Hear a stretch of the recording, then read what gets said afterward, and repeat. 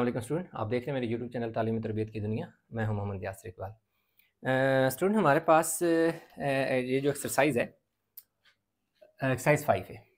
अच्छा इस एक्सरसाइज का क्वेश्चन नंबर सेवन हम स्टार्ट करने लगे हैं। इसकी जो स्टेटमेंट है the n term of a sequence is given by two n square plus one अब वो कह रहा है कि जो n term of a sequence two n square plus one कह रहा है, मैं आपको दे रहा हूँ। Right down first four term of the sequence कि भाई जो पहली चार टर्म है सीक्वेंस की, वो आपने बतानी है। इसलिए मैंने लिख दिया first four term of a sequence t n is equal to हमने क्या करना है? फाइंड करना है।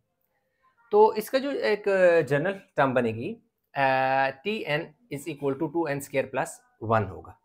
अब क्योंकि हमने चार टर्म फाइंड करनी है तो हम लिखेंगे for first term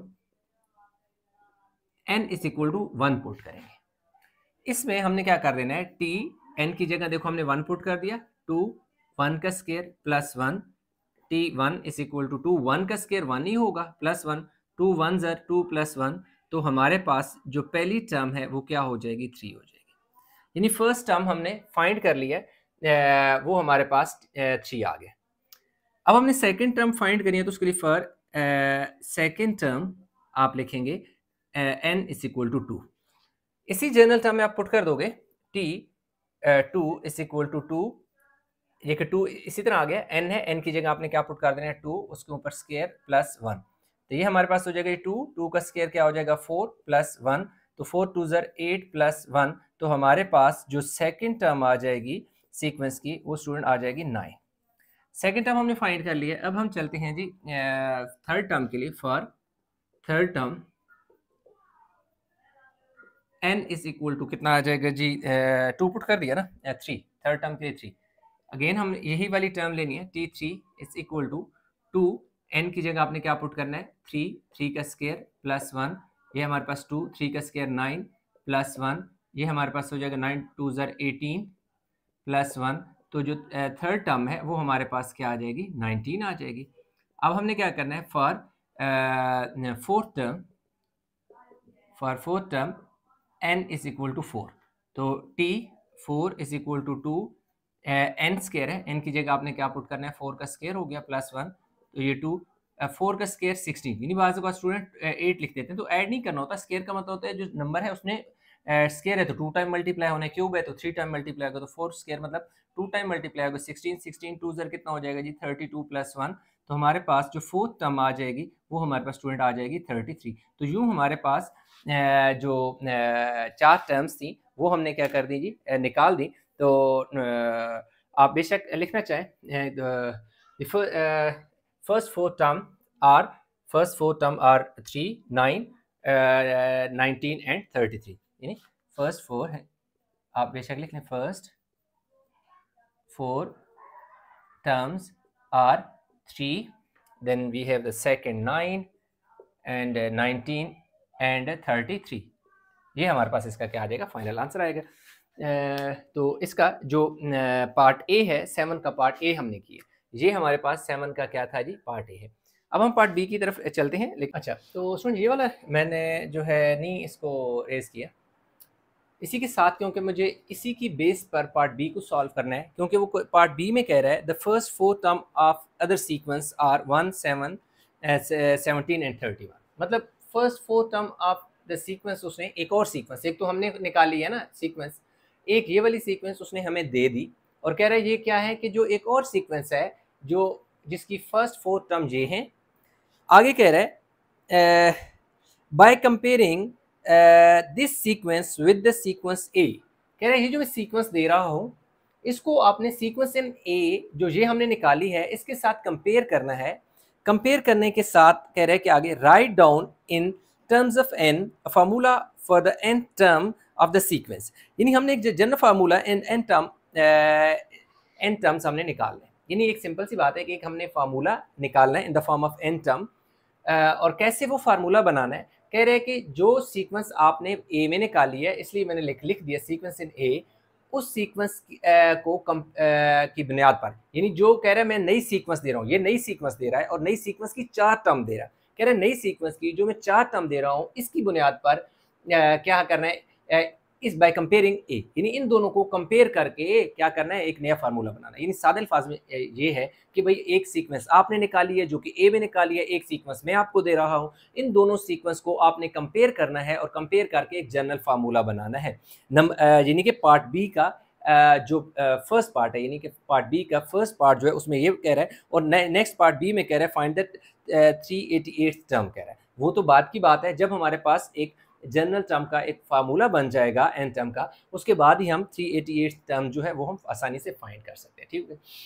अब जो फार्मूला बहुत आसानी से हम बना सकते हैं लेकिन कैसे बनाएँगे? इन दोनों को कंपेयर करके। अब सबसे पहले बात है कि दो, दोनों का पैटर्न को फॉलो करना है कि इन पैटर्न इसका पैटर्न क्या? अब इसका पैटर्न जो है दो अंदाज से आप इसको देख सकते हैं कि इन दोनों को किस अंदाज से एक टर्म के बाद दूसरी टर्म बनी है। उसके दो तरीके हैं मतलब पैटर्न है। अब दोनों में से जो मर्ज़ी यानी कि फॉलो करें। अब अगर देखें इन दोनों में डिफरेंस कितने हैं? जिसे हम कहते हैं कॉमन डिफरेंस यानी अगर मैं कॉमन डिफरेंस की बात करूँ इन दोनों में तो इन दोनों में कॉमन डिफरेंस कितना आ रहा है? सिक्स का आ रहा है। इसी तरह इन दोनों में कॉमन डिफरेंस क्या आ रहा है? नाइनटीन में से क्या निकालें? नाइन तो का, इधर कॉमन डिफरेंस यानी कि यानी डिफरेंस दोनों में इनफैक्ट आ जाएगा। कॉमन डिफरेंस यहाँ नहीं होगा। वो कॉमन डिफरेंस मैं बताता हूँ क्या है। पहले ये देखें इन डिफरेंस इसकी बात की जाए तो इन दोनों में थर्टी थ्री में से नाइनटीन निकालें तो यहाँ पर कितना डिफरेंस आ जाएगा? फोर्टीन आ जाएगा, ठीक है? अब ऊपर देखें क्या है। फ़र्स्ट और सेकंड टर्म का जो डिफरेंस है, वो कितना है यहाँ पर? सिक्स है। यहाँ पर देखें तो इधर इन, यानी कि सेवनटीन और सेवन में जो डिफरेंस है, वो टेन का है। इसी तरह अगर हम यहाँ पे देखें तो थर्टी वन से सेवनटीन निकालें तो फोर्टीन अब आप देखें कि ये जो सीक्वेंस है इनमें जो डिफरेंस है first second second third third fourth first second second third third fourth इनमें जो डिफरेंस है, वो दोनों में एक जैसा है। यानी फ़र्स्ट टू टर्म के दरमियान सिक्स का डिफरेंस है इस सीक्वेंस में भी और इन दोनों में भी सिक्स का डिफरेंस है। इन दोनों में सेकंड और थर्ड में टेन का डिफरेंस है, यहाँ पर भी सेकेंड और थर्ड में टेन का डिफरेंस है। यहाँ पे देखें थर्ड और फोर्थ में फोर्टीन का डिफरेंस है, यहाँ पे भी थर्ड और फोर्थ का फोर्टीन का डिफरेंस है। तो इसको इस, यूँ भी देख सकते हैं या यूँ समझें कि जो फ़र्स्ट डिफरेंस है दैट इज़ सिक्स उसमें फोर ऐड करें टेन टेन में फोर ऐड करें फोर्टीन इसी तरह सिक्स है सिक्स में टेन ऐड फोर ऐड करें टेन टेन में फोर ऐड करें फोर्टीन इसको एक और अंदाज से भी आप समझ सकते हैं। वो क्या है? वो ये है कि जैसे फ़र्स्ट सीक्वेंस है, इन दोनों में डिफरेंस क्या है? सिक्स का है। यानी कि फ़र्स्ट और सेवन यानी कि फ़र्स्ट टू में जो डिफरेंस है, वो क्या है?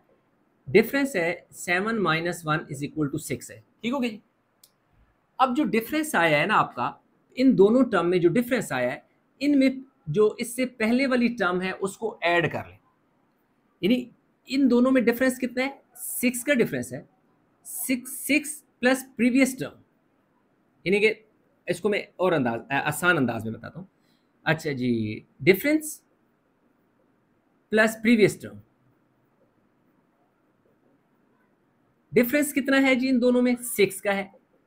इन दोनों में डिफरेंस सिक्स का है तो प्रीवियस टर्म मतलब ये सेकंड है तो इससे पिछली वाली टर्म क्या सिक्स है। वन है, यानी इन पिछली टर्म वन है। वन ऐड करो तो सेवन आ जाए। अब अगर इन दोनों में देखूँ तो मेरे पास डिफरेंस कितना है? इन दोनों में डिफरेंस कितना है? टेन है। अब इस जो सेवनटीन है इस इसकी प्रीवियस टर्म क्या है? सेवन तो वो ऐड करेंगे तो कितना बन जाएगा? सेवनटीन इसी तरह। ये कितने? थर्टी वन है थर्टी नहीं डिफरेंस पहले तो लिखे नहीं जी डिफरेंस डिफरेंस कितने हैं? फोर्टीन क्योंकि मैंने डिफरेंस लिखा है। डिफरेंस के बाद प्लस का साइन है। इन दोनों में डिफरेंस क्या है? फोर्टीन है। फोर्टीन लिख दिया। इस थर्टी वन से पिछली वाली टर्म क्या है? सेवनटीन है। तो ऐड करो तो क्या हो जाएगा? थर्टी वन तो इस तरह आपके पास यू सीक्वेंस भी आप निकाल सकते हैं। यही चीज़ यहाँ पर है। देखें डिफरेंस कितना है? सिक्स सिक्स में थ्री ऐड करो। कितना बनता है? नाइन डिफरेंस कितना है? टेन टेन में नाइन ऐड करो नाइनटीन डिफरेंस कितना है? फोर्टीन फोर्टीन में नाइनटीन ऐड करो थर्टी थ्री तो यूँ यानी कि आपने एक पैटर्न को फॉलो करना है, उस अंदाज पे, अंदाज से आपका बनता जाएगा। अच्छा अब यहाँ पे तो मैं आपको बता दिया कि इसका पैटर्न क्या है। अब कहते कहते हैं कि इनको कंपेयर करके फार्मूला बनाए। अब फार्मूला बनाने में थोड़ा सा ऐसा है कि देखेंगे कैसे बनेगा। अब किसकी बुनियाद पर फार्मूला बनाना है? फ़र्स्ट सीक्वेंस फ़र्स्ट सीक्वेंस क्या है? Two n square plus one है। लिख लें।